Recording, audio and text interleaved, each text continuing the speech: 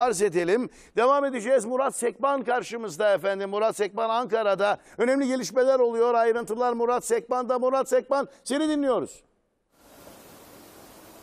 Günaydın Erkan Tan. Başkentte Şafak Operasyonu ile birlikte Adalet Bakanlığı'nda e, FETÖ'ye yönelik, mahrem imamlara yönelik 6. 5.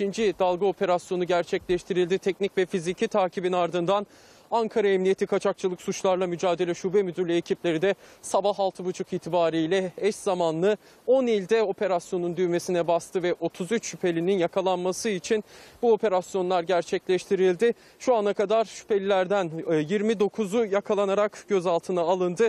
Dör- e, kayıp 4 kişinin ise e, yakalanması için çalışmalarda sürüyor. Dediğimiz gibi Adalet Bakanlığı 5. dalga operasyonuydu. 19'u aktif görevde, 14'ü de ihraç toplam 33 şüpheli sabah şafak operasyonuyla birlikte yakalanarak gözaltına alındılar. Adalet Bakanlığı 5. dalga operasyonunda teknik ve fiziki takip uzunca bir süre devam etti. Ekiplerin titiz çalışmalarının ardından bu operasyon gerçekleştirildi. 33 şüphelinin e, zabıt katibi ya da e, infaz koruma memuru olarak görev yaptıkları da belirlenenler arasında Adalet Bakanlığı'nda FETÖ yönelik 5. dalga mahrem imamlara yönelik 5. dalga operasyondu.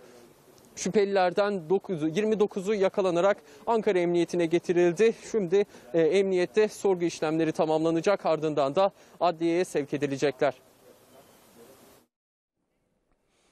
Murat Sekban karşımızdaydı. Fethullah Gülen kahpesi, adamları, sevenleri bir tarikat değil, bir cemaat değil, bir dini topluluk değil, istihbarat, suç örgütü bunlar. Allah'a hizmet ediyoruz, Kur'an-ı Kerim'e hizmet ediyoruz dediler. Hepimizi kandırdılar.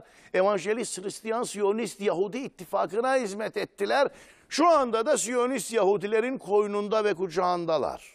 Nokta. Yayına ve güne not düşelim ve birlikteliğimizi sürdürelim. Türkiye